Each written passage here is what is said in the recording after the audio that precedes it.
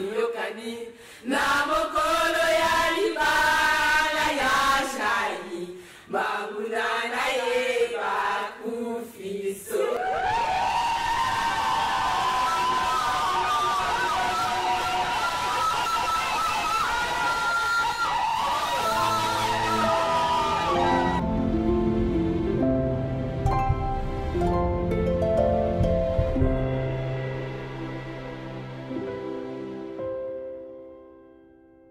na lelo eza journée esengo na nga nazelaki journée otombo na ye et euh, le fait que tombe le 29 juin mpo na nga c'est une immense joie parce que c'est l'anniversaire anniversaire à 70 ans de ma maman et euh, mes parents ont totalisé aussi 51 ans de mariage aujourd'hui donc euh, quand j'ai vu que ça tombait un samedi le 29 juin j'ai saisi l'opportunité pour aussi pouvoir fêter mon anniversaire de mariage le 29 juin avec mes parents. Voilà,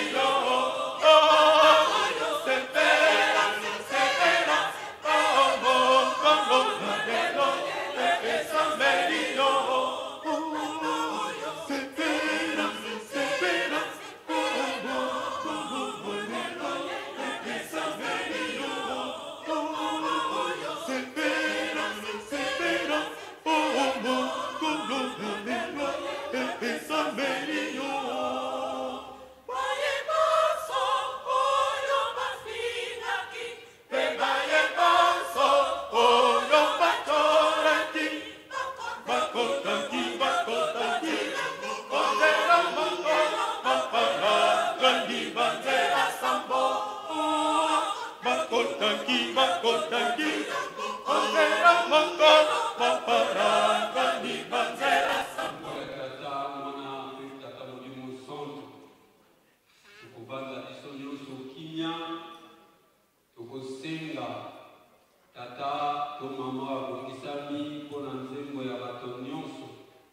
Soki asilisi, tokobenga mama evangeliste ya paroisse ya Saint Denis akoya kotinda biso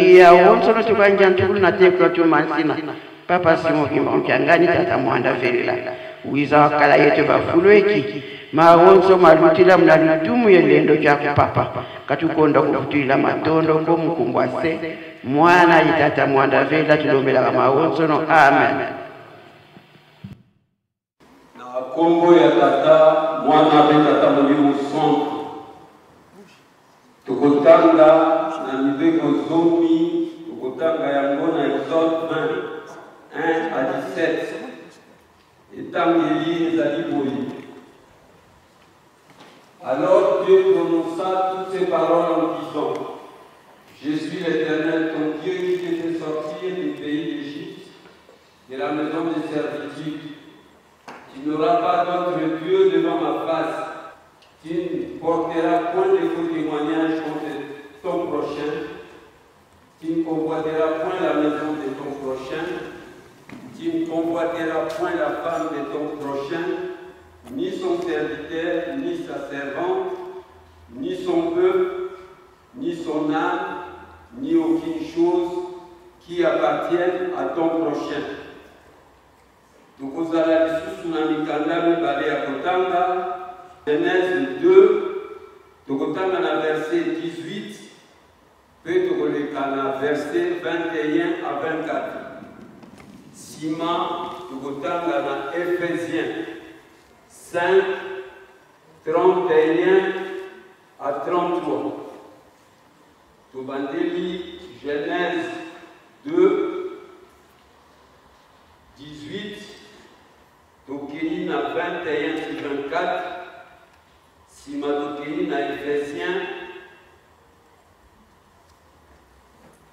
31 à 33 etangeli ezali boye l'éternel dieu dit il n'est pas bon que l'homme soit seul je lui ferai une aide semblable à lui toleki na 21 tina 24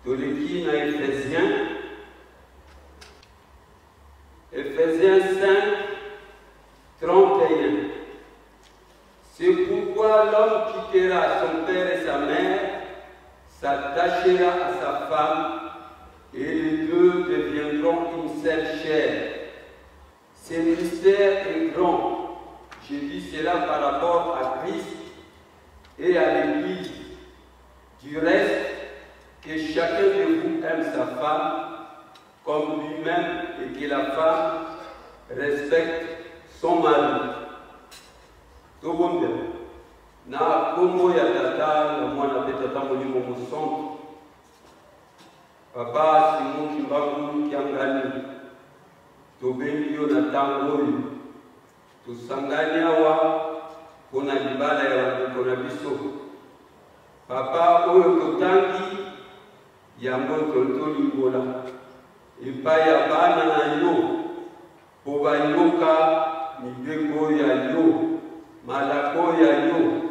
Yo moko yaka lata ngai na kosala mosala wana na kombo ya Tata, Mwana pe Tata Molimo Santu. Amen. Na kombo ya Tata, Mwana mpe Tata Molimo Santu. Lelo ezali mokolo ya bandeko na biso baye mpo bakokisa mokano. Lingomba ekosalisaka libala te. Toyawa te tosala libala. Libala ekosalamaka na niveau ya famille. Libala na bango na niveau ya famille esesilaki, kasi lingomba eyaka mpo na kopesa lipamboli na kati ya libala. Eloko wana nde ezali eloko ya mpasi Po tango nionso tout na ba mariage posa na biso ezalaka nini? Ya baye baza kobalisa to baye baza kobala? Ezali ke toza kokende na fete tosepelisa ba invite. Tomisepelisa, bamona ngai ke nabali, bamona ngai ke boye, kasi eloko ya motuya yango nde tokobosanaka. Eloko ya motuya oyo Nzambe asalaka ndenge asalaka na baboko na biso ya yambo Adam na Eve yango ya motuya nde kosalamaka na kati na esika oyo yango ya motuya oyo toyaka kozwa kanisa motu oyo oye na yeba ya tata nzambe mpo na kozwa lipamboli oyo mokovivre na yango bomoi na bino mobimba Lipamboli wana okoya kozwila yango ndenge nini? Na ba conditions nini?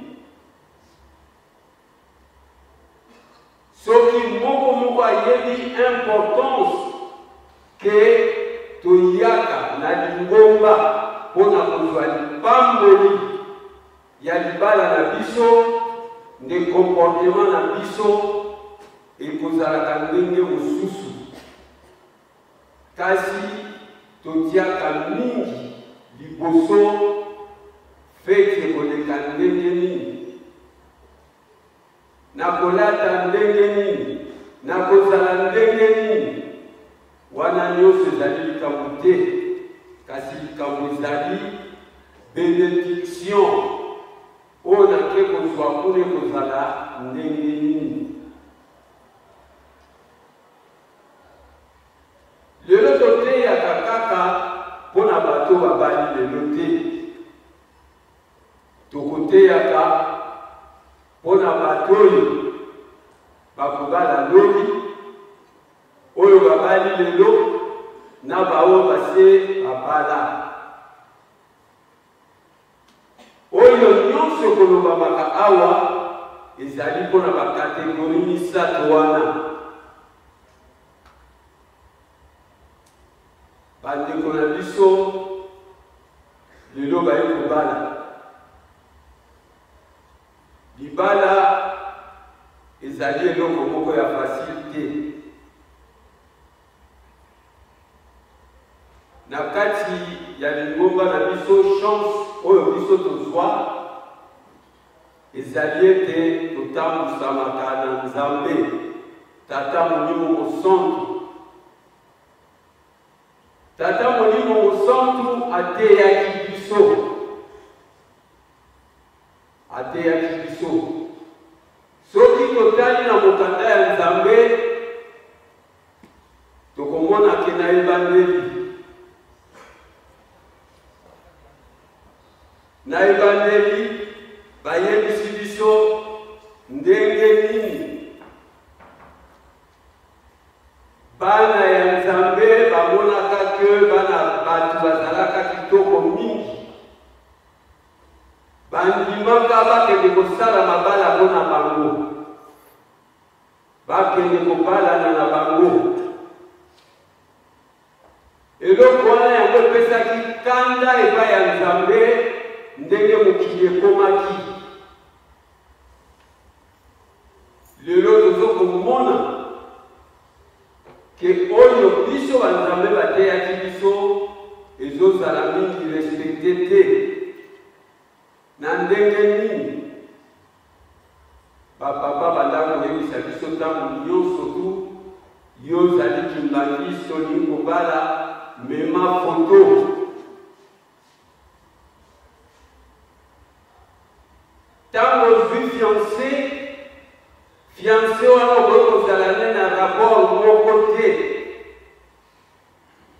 Omemi photo epai ya Nzambe, Nzambe mpo asala nini? Atala elembo oyo ye azalaki na yango, oyo ye apesaka epai ya bana na ye, oyo yo oke kozwa aza na elembo nini? Yango etindaka Tata Nzambe akitisa mikolo ya bato na mokili mpo mabe elekaka. Me lelo tokomona ke badivorce ba makambo ebele ekoti. Mpo na nini ekoti? Puiske respect ya eloko wana ezali lisusu te ya likambo monene wana. Mwana mwasi, ntango mobali asali bino alobi, mikolo oyo mpo na kozwa mabali ezali mpasi, naza na ntango te nakende koluka kolakisa foto. Lobi ekozala ndenge nini? Ondimi libala ya 8 heures du temps? Bosango etambola kaka te na bali Tokwesi mobeko. Yango wana tozosala rappel na likambo wana na mokolo ya lelo mpo na baoyo baza koya na nsima ndenge nini bakoki kosalela koluka te mpo na elengi ya kobala Kende oyeba na foto soki ndenge nini. Zala peto epai ya Tata Nzambe mpo apesa yo reponse ya kitoko. Soki okei obebisaki mwa oyoka reponse ezali te.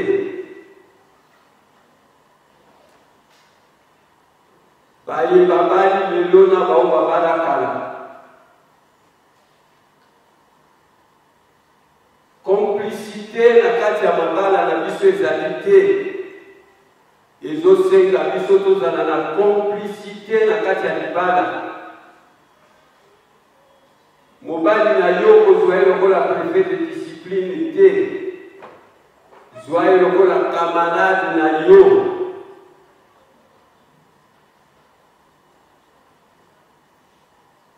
Kozwa ye lokola mwana ya moninga mawa te. Zwa ye lokola ndeko na yo. Zwa ye lokola mobali na yo. Panzi oyo ya yo. Okoki kobombela ye makambo te. okose comporte na ye na ndenge oyo ekoki bokotuna pourkoi papa pasteur aleki mbala moko atangi atangi mibeko me alobeli mibeko te ntango na biso epusani mobeko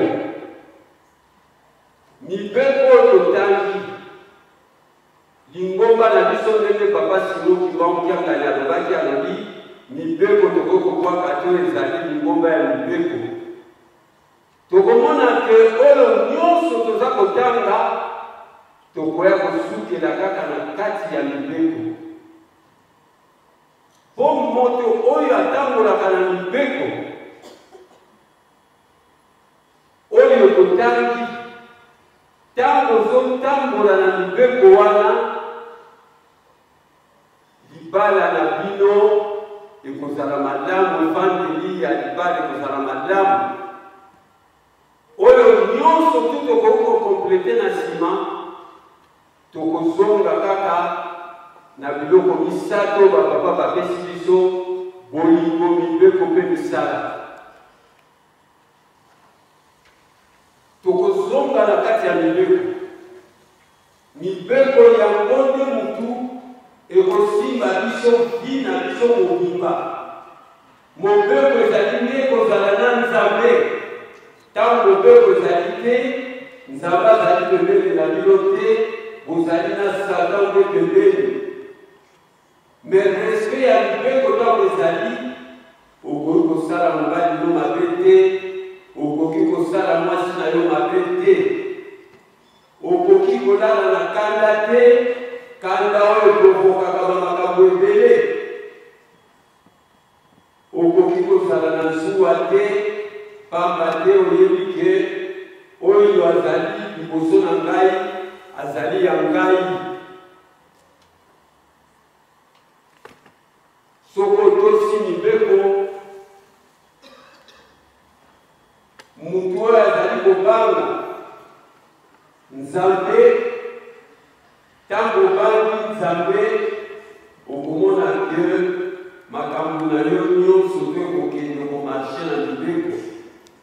Pamba te, ata ozali yo moko esika ya kobombama, lokola oza kobanga Nzambe,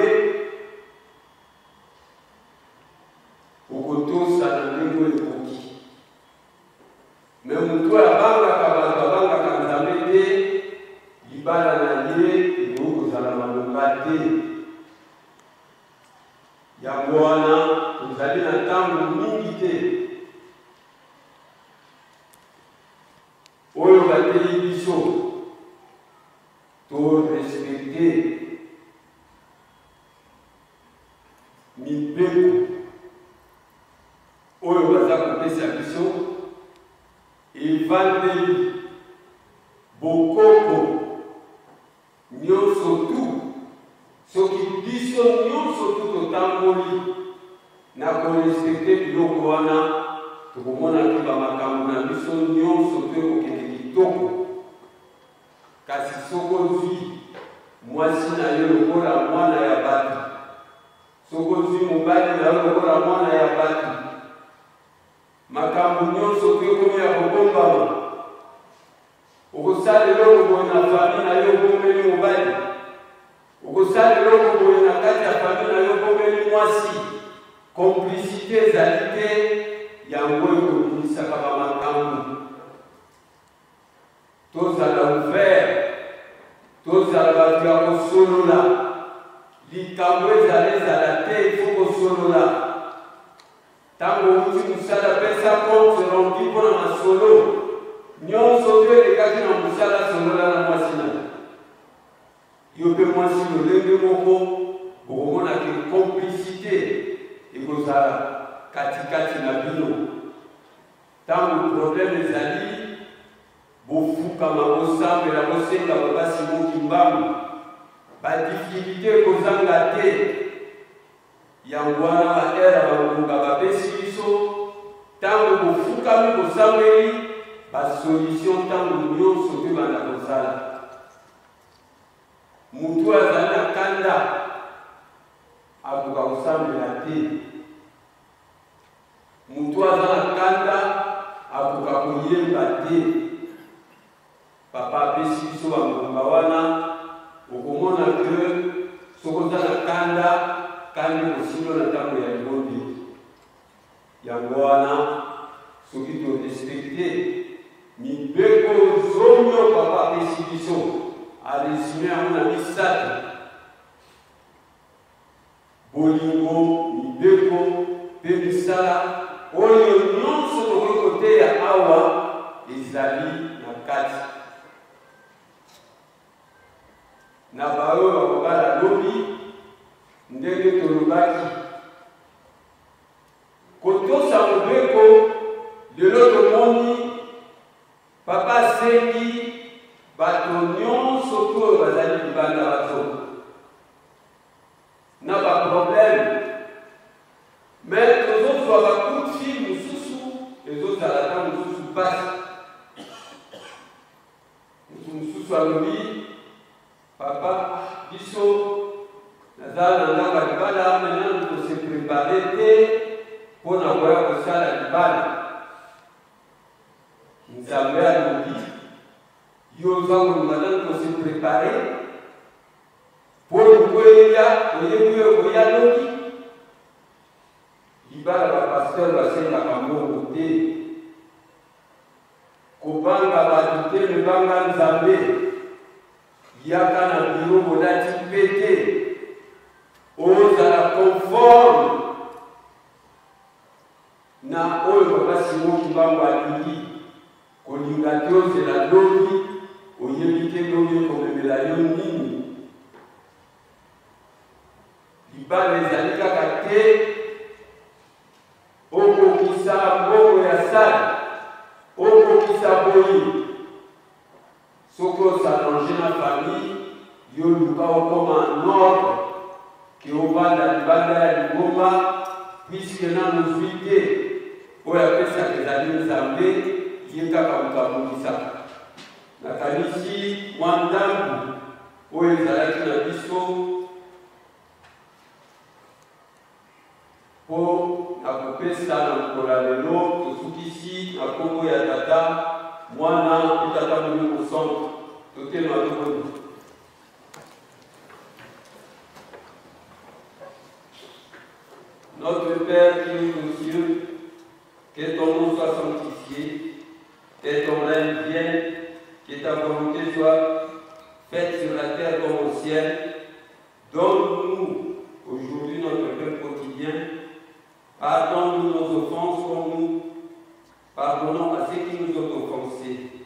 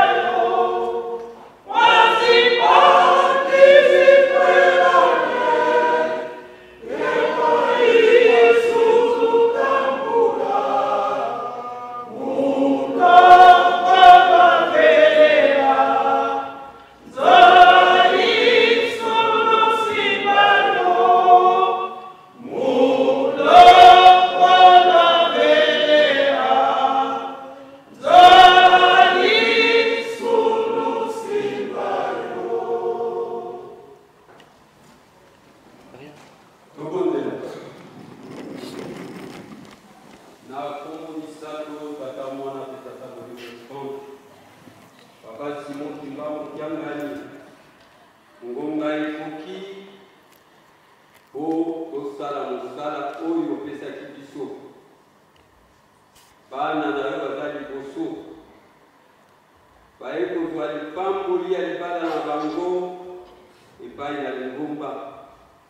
Ngai nazali bobele moto na kosala mosala wana. Yaka olata ngai, ozala na ngai na nyonso ekoleka awa, na nkombo ya Tata, Mwana, mpe Tata Molimo Santu. Amen.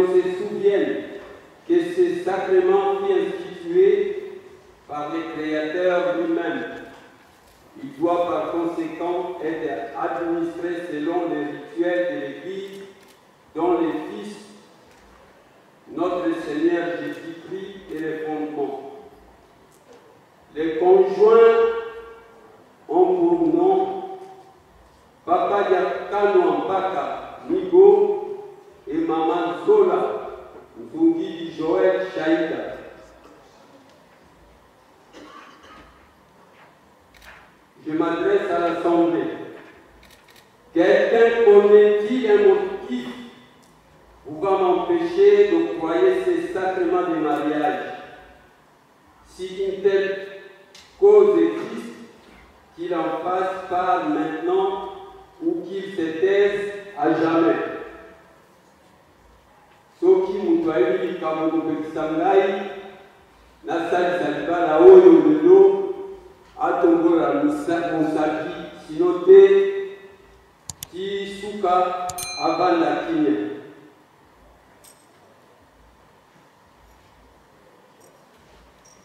Namoni bato bazali te.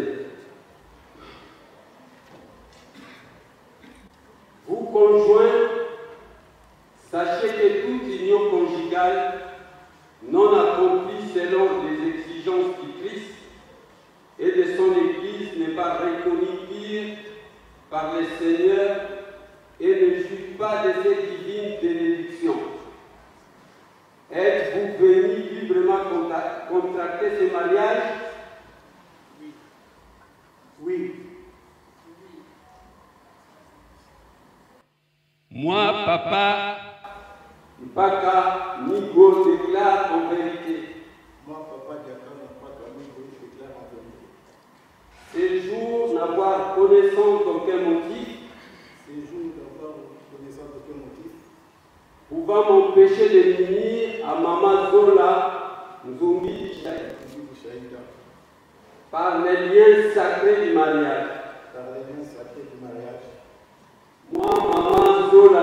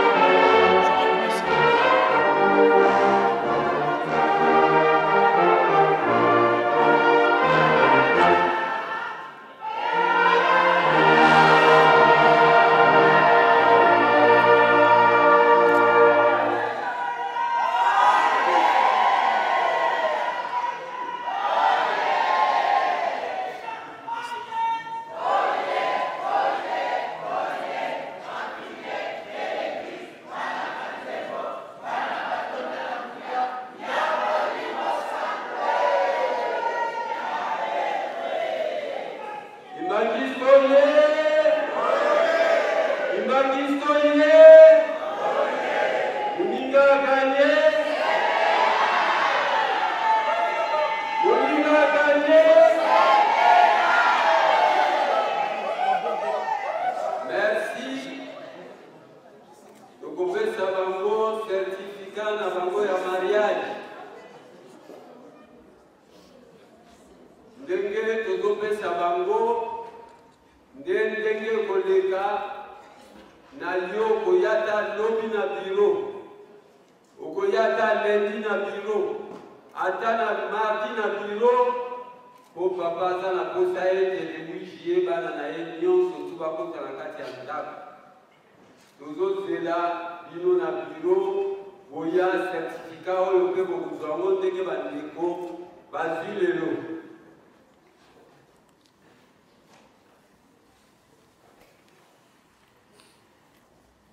oyo botia na kati ya ndako botalaka ntango nyonso tu soki probleme ezali bokanisi kaka mokolo oyo na nkambo ya bato nyonso tu batemoin nyonso tu batondi na kati ya kimbangiso ye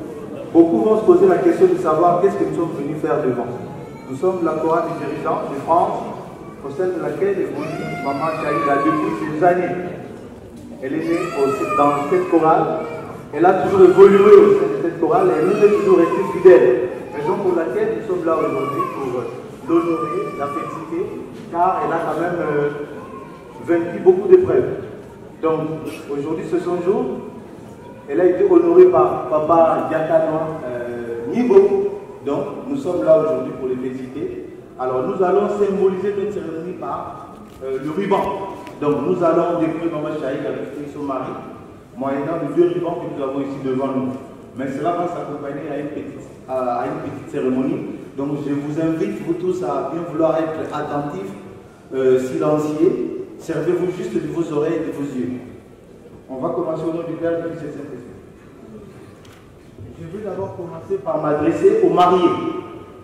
Chers mariés, par cette cérémonie, nous sommes venus vous féliciter, car vous avez honoré l'Église et vos familles respectives.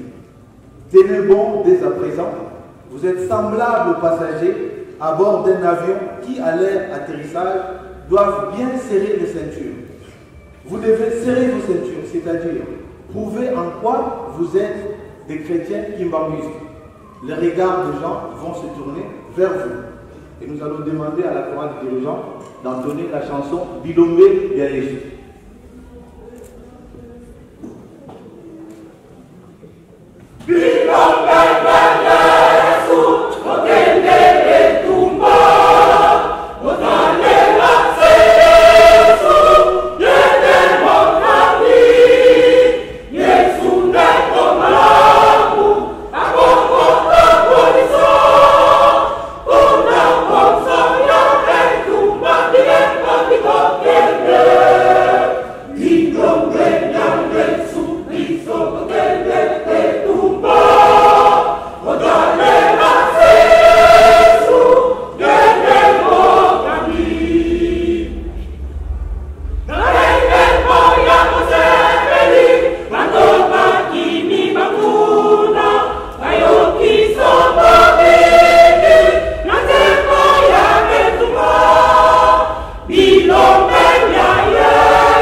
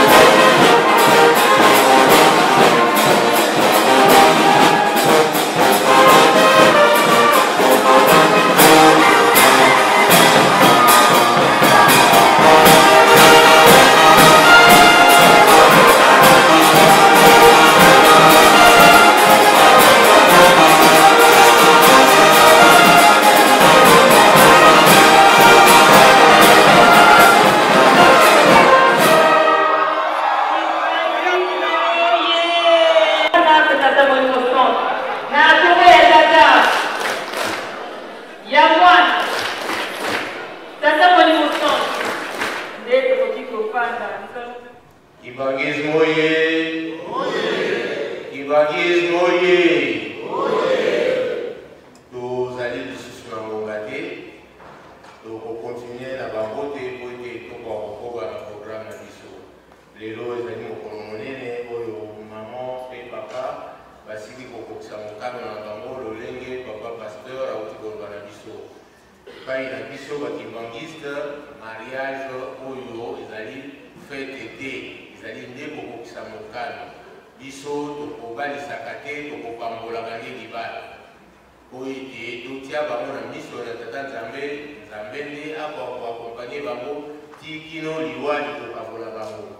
Bino baye oyo bobali lelo, nabanzi Papa Kabedi mpe Mama Dudu libala na bango se ewumeli libanda kala. Bango na mokolo mwa lelo oyo biso tokoki koloba na miso ya bato, topesi bango mpe ntonga na singa. Esika oyo ekopasuka bino bobambi, bino mpe bozwi bango bapare mpo ete bokabola libala na bango te, tata mpo mabir mwana ya mobali, mama mpo mabir mwana ya mwasi te. Libala ezali likambo ya koyokana, ya kovanda esika moko, transparence, makambo nyonso, camarade na yo ya liboso, mama Shari, ezali papa mingi. Ya mibale ezali ye, ya misato ezali ye, ya mine ezali ye, ya mitano ezali ye, septième mais peut-être okobakisa moto moko boye mais banda na liboso ti na sixième ezali ye c'est-à-dire nyonso oyo ozala nango nde okozwa pai na ye oyeba kozala nango akozwa pai na ye bosala libala ya batata ya kala te Papa Miro mbongo ozwaka na musala na fiche de paie obomba yango musika soki mwasi asengi mbongo oke ebimisa na toilette wana mabala ya kala mama osombi lupango na kisasa mokolo wana eh, ozalaki te telefone otikaki wana Mokolo wana otikali kuna, papa Migo ayambi baoto na ye, yebisa ye babrike esilaki, babrike yango ani wana eza libala te. Donc elikya na biso ete lelo oyo bozali kosala osi kosala yango bato nyonso baya bayebi, donc ezala ya suka Bozali na chance. Eh, nabaki nde nabandaki wana mosusu bamoni nga nde na bimia bawi me moto oyo na telefone okende pamba mokonzi ya bula ya moto obenga ngai ya alobi na makambo akili oza wapi nabi naza na libala ya papa migo na mama shali alobi se bien lere na bimi awa donc c'est pour dire que bokufisa nzambe na bino soni te toyokani ya libala bato bakosepelaka mokolo bokolemba na bino soki olembi tosue ntango te obengisa biso lisusu boye tovandi awa miziki ebeti tolembi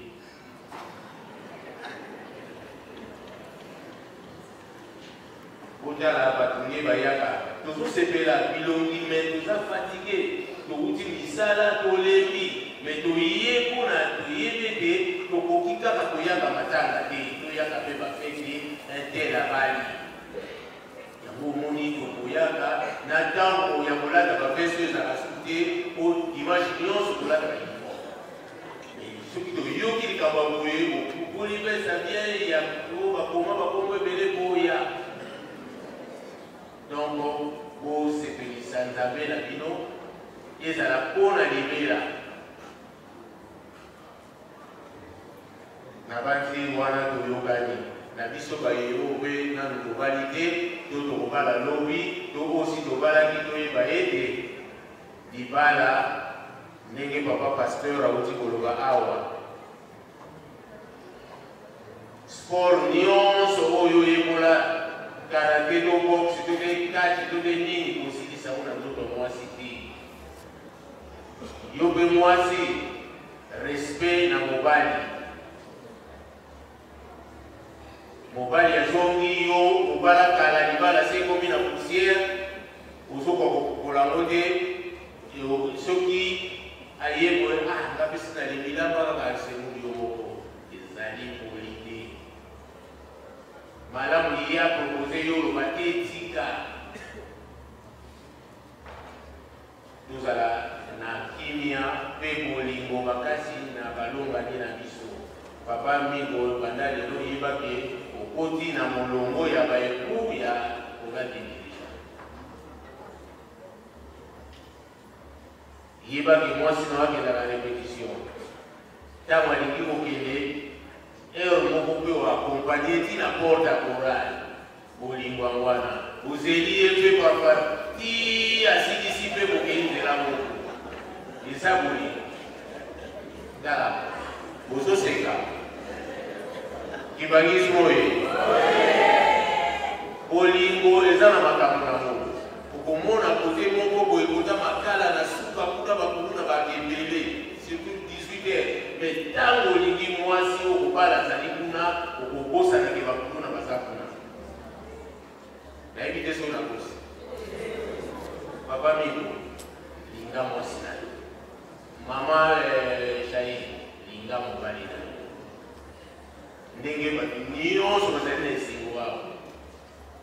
Omoni bato mosusu nde bazokende awa baza bakarimatisme me babosani yango mpona mokimo ya mariage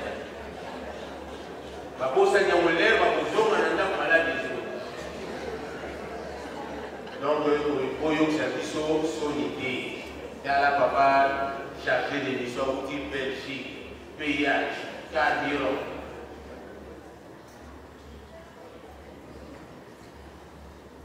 Nabanzi mateyi oyo bokopesa na Melanie mpo na biso nyonso oyo tosi tokokisi ba 50 ans na libala na oyo tozali na ma a toza na 3 mois bino nano to a te po papie nano ekomi te po soki opase permis okozela papie ekoma kozala sur ke bino papie kokoma nde kokoma na ndako Donc bolakisa epai ya bato ke tolingani, mpe bana oyo bazali komona bakoka kolanda bizaleli na bino, balanda ndenge bino bosali epai ya Tata Nzambe. Nkolo Yesu mpe Papa Simon Kimbangu, bokozwa mapamboli.